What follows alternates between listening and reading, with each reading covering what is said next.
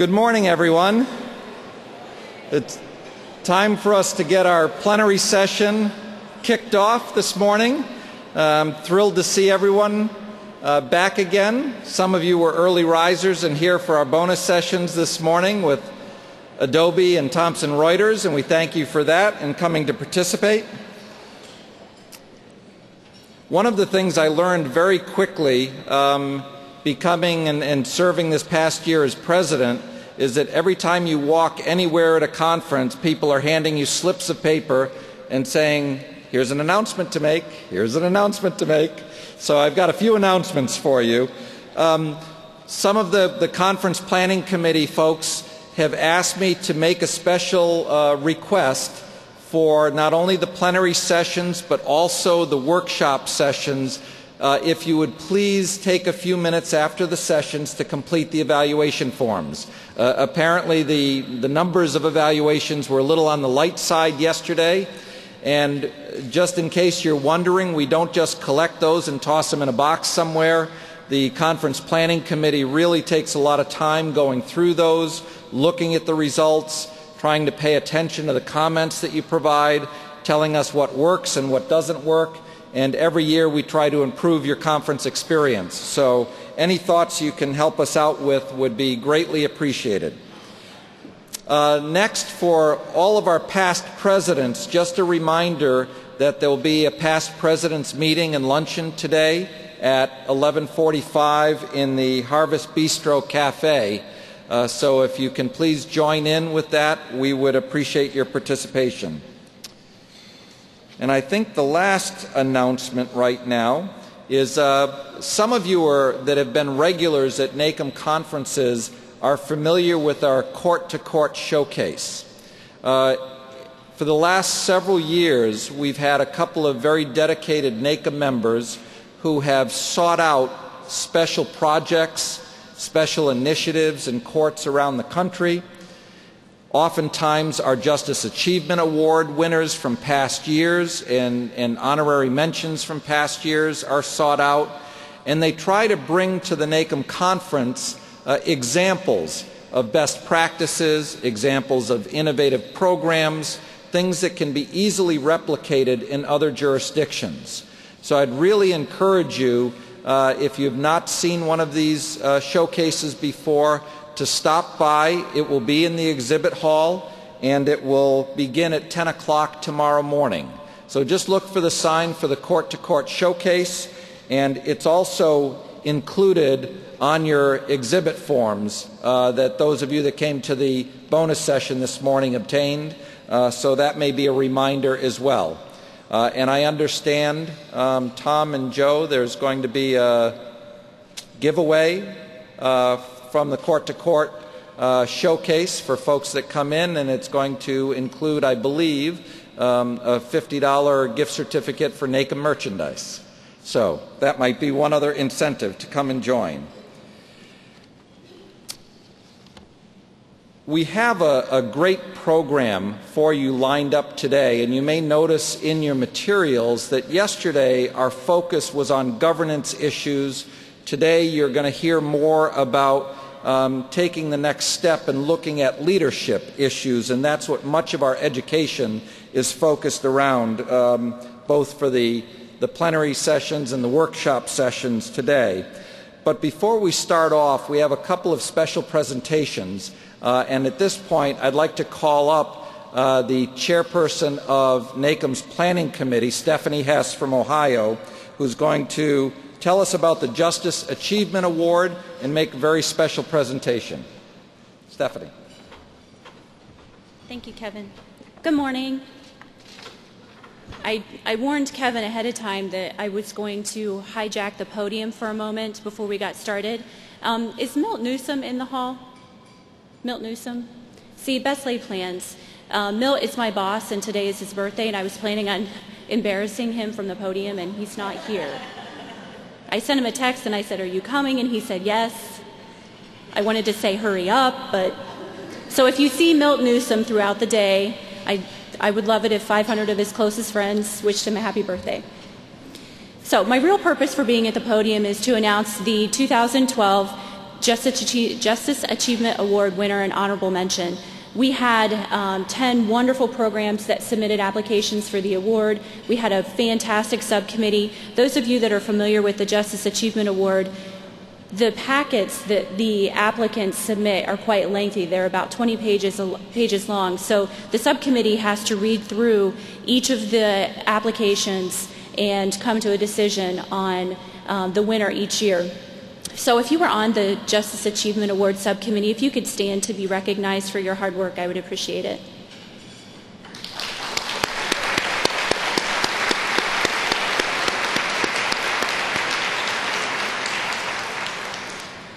The Justice Achievement Award was established to publicly recognize courts and related organizations for meritorious projects and exemplary accomplishments that enhance the administration of justice. To that end, we were um, very happy to pick for the 2012 Justice Achievement Award the Minnesota Judicial Branch for their program entitled Implementation of the Minnesota Court Payment Center.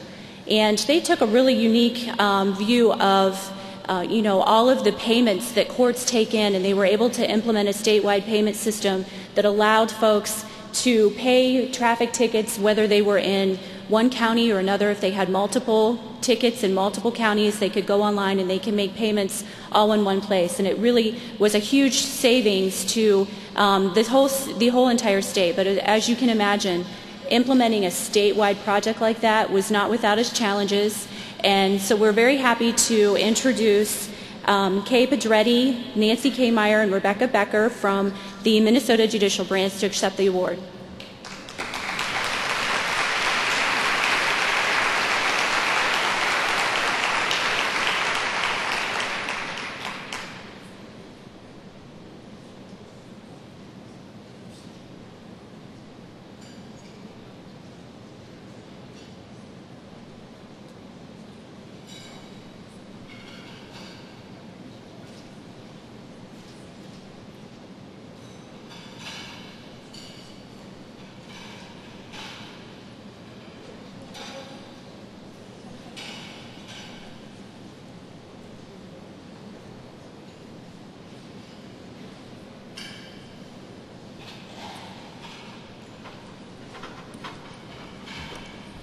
And since we had so many wonderful programs that applied for the award this year, we did want to offer an honorable mention as well to the Scottsdale City Court for the successful implementation of the jail alternative program.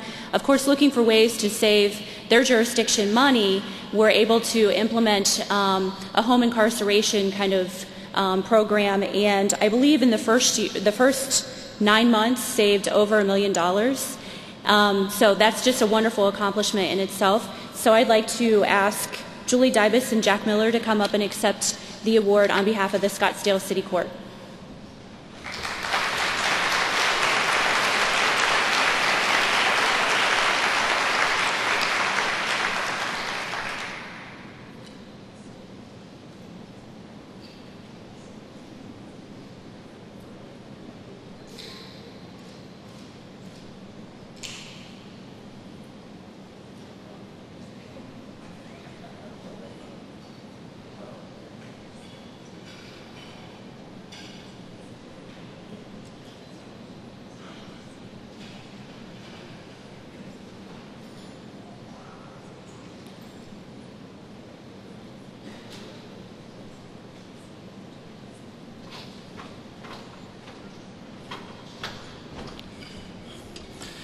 It's always fun to see the smiles on the faces of award recipients when they're acknowledged for the work, and we know that all of you um, do significant work in your courts from year to year. So please take advantage of the Justice Achievement Award and send in your nominations, and, and we'd be thrilled to have a chance to look at them.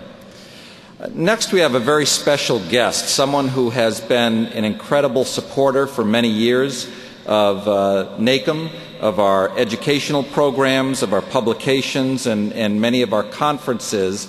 Uh, some of you are very familiar with the State Justice Institute um, in Virginia. Uh, they, uh, they are a great support for many of our court programs, and I'd like to invite their executive director, Jonathan Mattiello, to come up to the podium and share a few thoughts about what's happening with the State Justice Institute. Please welcome Jonathan.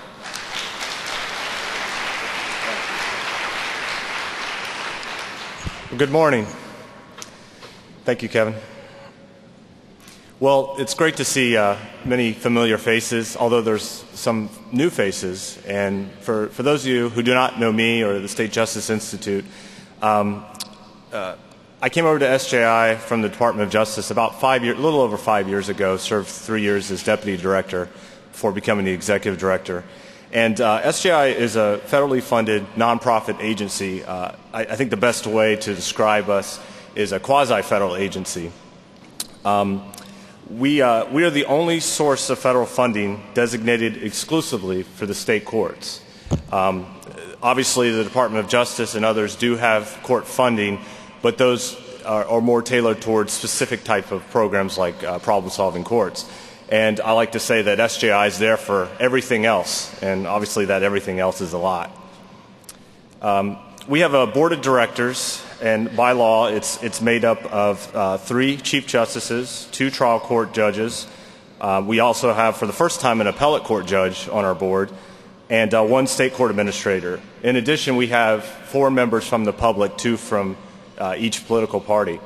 Those members are um, nominated by the Conference of Chief Justices. Uh, they're then, in turn, nominated by the President and, confirmed by the Senate. It's been a very uh, active two years for SJI and the fact that we've had a complete turnover of our entire board. Uh, and that's after going almost 10 years without a board replacement. So it's been very exciting times for me personally uh, dealing with a new board. And, and a lot that was said yesterday in the morning session really hit home for me because I was sort of going through my checklist, making sure we were trying to address some of these things.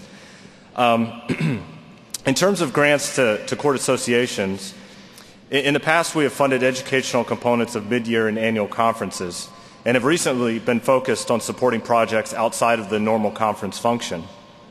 In fact, this marks the third year of SJI support for the educational tracks of the NACM mid-year and annual conferences, and the Board of Directors is very proud of that.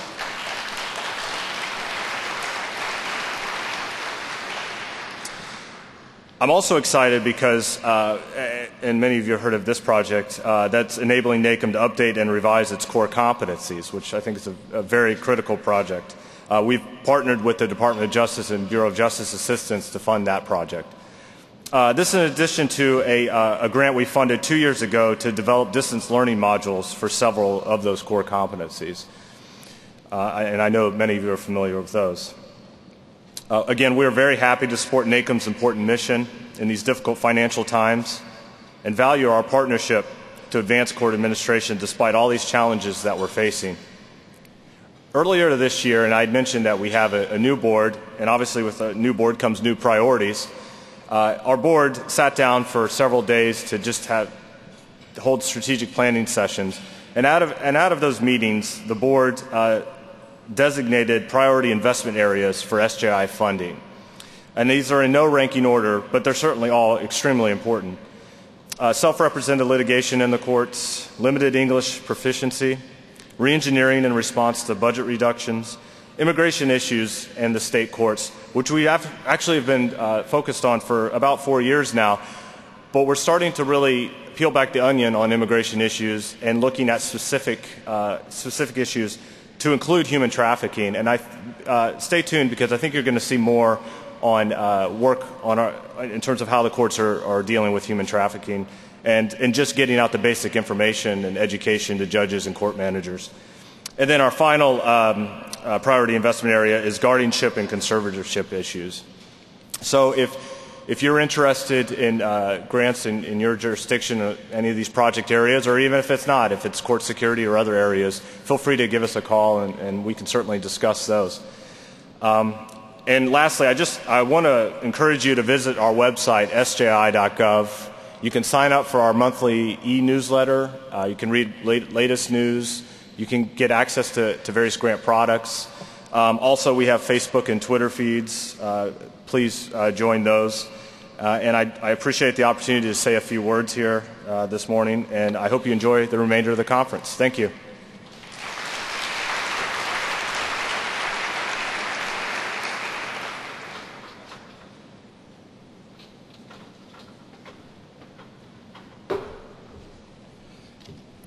Thank you very much, Jonathan. I can't tell you how important the SJI support has been to NACM over the years, and we really do appreciate um, all of the efforts that they've gone through to make sure that we've been able to continue many of the projects and many of the educational offerings that we provide to all of our members throughout the year. Just a couple of other quick announcements, and then I'm going to ask our President elect Pam Harris to come up and, and kick off our, our keynote this morning. Um, Many folks had uh, approached some of the officers and board members yesterday and were very concerned when a news report came out that Stephen Covey had passed away uh, yesterday. And that news report was accurate, that he did pass away, um, but it was the Stephen Covey who was 79 years old. Uh, and in the upper right hand corner of the projections that we have, is Stephen M.R. Covey, his son, who has agreed to be our plenary speaker on Thursday. And I just wanted to make sure everyone was aware of the fact that uh, Mr. Covey has agreed to still be here. He will be here to uh, conduct the, the uh, session on Thursday. Um, and uh, just if, if you're aware that he's making that special effort for us here at NACM, and then he'll be um, returning to be with his family uh, over the weekend. So um, we will still go on as planned on Thursday, and I just wanted to make sure everyone was aware of that.